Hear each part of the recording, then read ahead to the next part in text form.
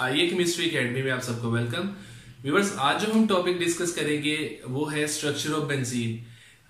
के benzene compound C6H6 उसका structure formula क्या होता है और उस, उसको किस तरह से प्रपोज किया गया? व्यूवर्स सबसे पहले हम देख लेते हैं कि बेंजीन जो है उसको हम मालिकुलर फार्मूला उसका होता है C6H6 और इसको सबसे पहले जो जिस साइंटिस्ट ने डिस्कवर किया वो उसका नाम था माइकल फेरेडे जिसने 1825 में 1825 में उसने इसको हासिल किया by the destructive distillation of vegetable oil तो माइकल फेरेडे ने इसको सबसे पहले डिस्कवर किया। हम इधर लिख देते हैं Michael Faraday discovered it in 1825 इसके viewers after 20 years, Hoffman rediscovered it uh, from coal tar तो इस तरह से इसकी डिस्कवरी हुई। तो फिर डिस्कवरी के बाद इसका स्ट्रक्चर जो इंपेरिकल फार्मूला था इसका इंपेरिकल फार्मूला डिस्कवर किया गया। Empirical formula was discovered was found by elemental analysis और जो के आया सी एच रिवर्स इसके बाद जब इसका नेक्स्ट क्या एडवांसमेंट हुई कि molecular mass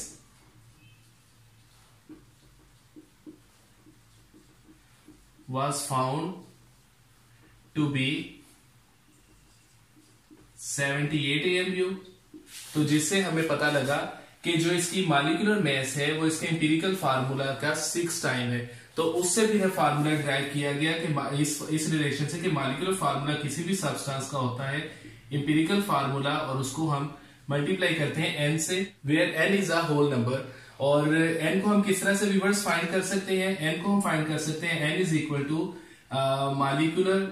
formula mass divided by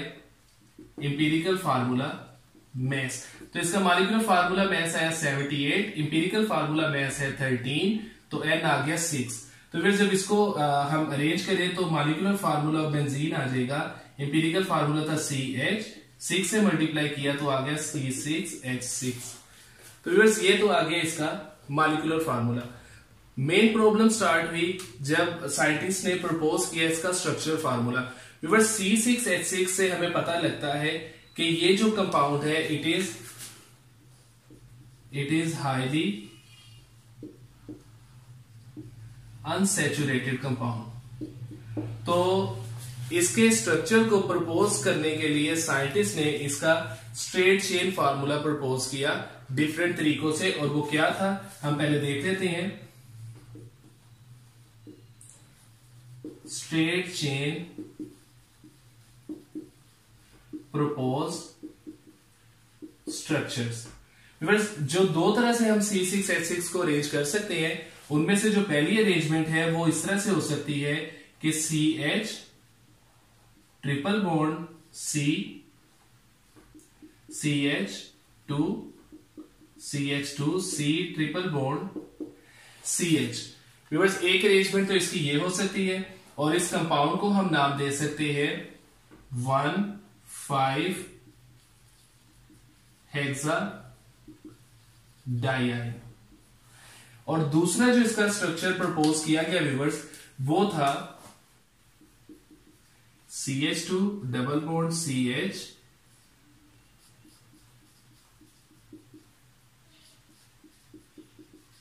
US एक इसका जो स्ट्रेट चेन स्ट्रक्चर प्रपोज किया गया वो ये था। और इसका नाम बन जाएगा one five hexadiene three yne अब ये दो जो इसके स्ट्रक्चर थे स्ट्रेट चेन स्ट्रक्चर ये प्रपोज किए गए। आज हम देखेंगे कि किस तरह से ये जो प्रपोज स्ट्रेट चेन स्ट्रक्चर थे, इनको रूल आउट किया गया कि बेंजीन का स्ट्रक्चर जो है वो स्ट्रेट चेन नहीं होता। तो आज के लेक्चर में हमने देखना है कि हम इनको किस तरह से रूल आउट कर सकते हैं। तो व्यूवर्स हम इधर लिख देते हैं।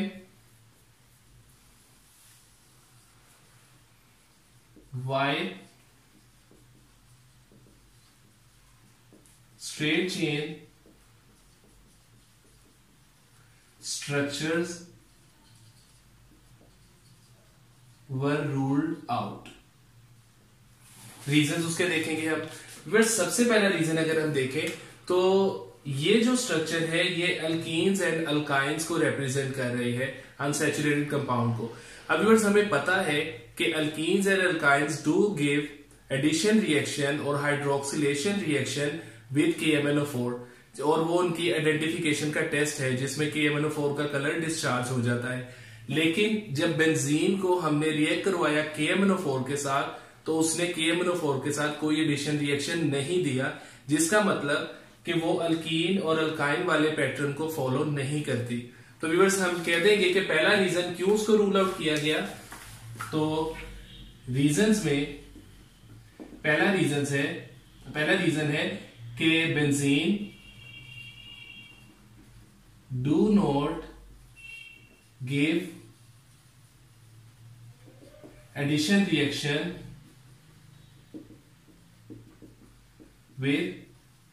KMNO4 as alkenes or alkynes दूसरा विवर जो रीजन इसमें है कि benzene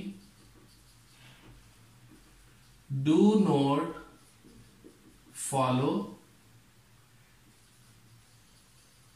general formula of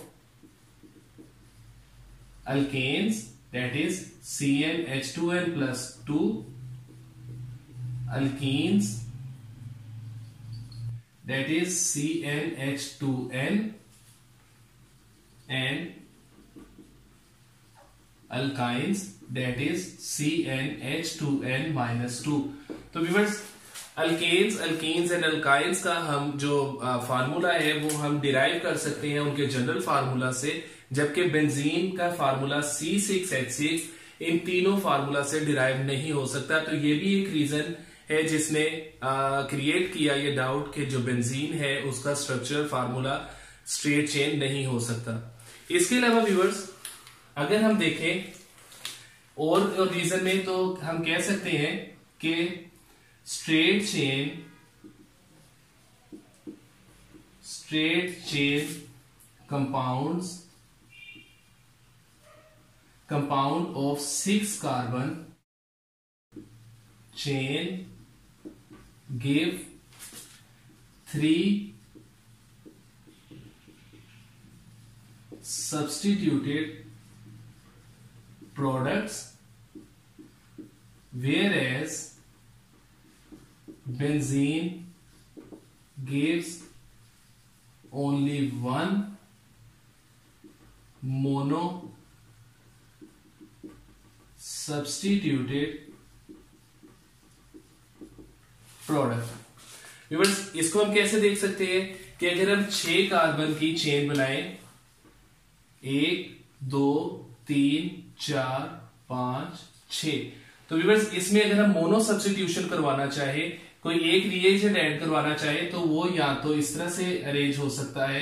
कि वो या तो अटैच होगा कार्बन नंबर वन पे आइधर वो यहाँ पे अटैच होगा, या व्यूवर्स दूसरे केस में अगर हम देखें तो वो अटैच हो सकता है कार्बन नंबर टू के ऊपर, ऐसे। उसको हम इस तरह से शो कर देते हैं कि वो अटैच होगा कार्बन नंबर टू के ऊपर, या फिर तीसरे केस में व्यूवर्स इस तरह से हम उसमें सब्सटीट्यूशन मोनो सब्सटीट्यूशन करवाना चाहें तो वो अटैच होगी कार्बन नंबर थ्री के ऊपर। तो व्यूवर्स जबकि अगर स्ट्रेट चेन स्ट्रक्चर होता बेंजीन का तो हमें इस तरह की तीन डिफरेंट जगहों पे मोनो सब्सटीट्यूशन प्रोडक्ट्स हासिल हो, सक, हो सकती थी। लेकिन बेंजीन हमें सिर्फ़ एक मोनो सब्सटीट्यूटेड प्रोडक्ट देता है तो इससे भी आ, ये पता लगा कि जो बेंजीन है उसका स्ट्रेट चेन स्ट्रक्चर नहीं होता। इसके अलावा रीजन में व्यूवर्स हम देखते हैं कि बेंजीन जो है वो benzene C6H6 prefer to give substitution reactions uh, rather than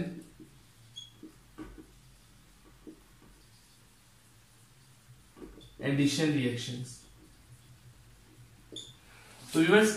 अब ये जो दो स्ट्रक्चर्स हैं ये हाईली अनसेचुरेटेड है। अगर हम देखें तो इनको हमें एडिशन रिएक्शंस देने चाहिए जो प्रपोज स्ट्रक्चर है बेंजीन के। लेकिन जब बेंजीन को हम एक्चुअली रिएक्ट करवाते हैं तो एडिशन रिएक्शन देने की बजाय प्रेफर करती है सब्सिट्यूशन रिएक्शन देने को। तो इससे भी हमें पता लगता है कि बेंजीन का जो स्ट्रक्चर है वो स्ट्रेट चेन नहीं है। इसके अलावा व्यूवर्स लास्ट जो रीजन है जिससे हमें फर्दर कंफर्म हो जाएगा कि बेंजीन का जो स्ट्रक्चर है वो स्ट्रेट चेन नहीं होता, वो ये है कि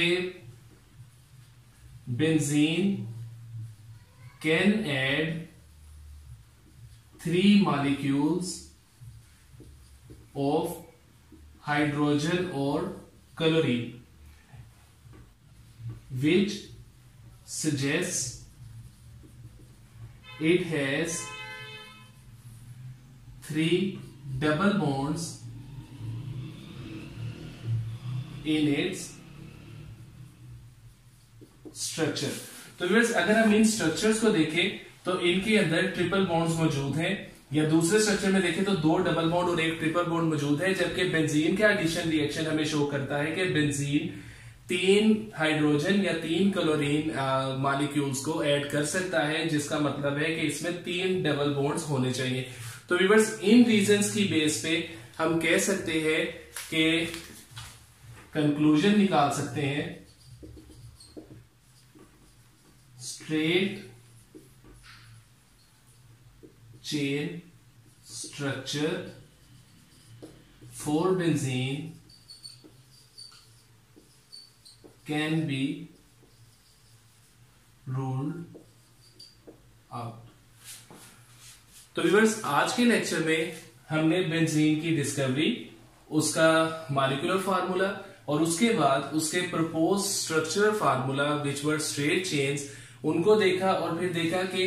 क्यों benzene straight chain structure show नहीं करती और हम उसको किस तरह से निग्लेक्ट कर सकते हैं, उसके रीजन को स्टडी किया। आई होप कि आपको ये समझ आ गए होंगे। नेक्स्ट लेक्चर में व्यूवर्स हम पढ़ेंगे कि बेंजीन का एक्चुअल स्ट्रक्चर क्या होता है और उसको किस तरह से डिस्कवर किया गया। आपको अगर आज के लेक्चर में कोई भी कंफ्यूजन या क्वेश्चन हो तो आप हमें ऑनलाइन कमेंट्स में पूछ सकते हैं। आप हमारी वीडियोस को ज़्यादा से ज़्यादा वॉच लाइक एंड शेयर कीजिए और हमारे चैनल आई केमिस्ट्री अकेडमी को ज़रूर सब्सक्राइब करें, ताकि हम इसी तरह नए नए लेक्चर्स और वीडियोस के साथ आपके सामने हाजिर होते रहे। अल्लाह हाफिज।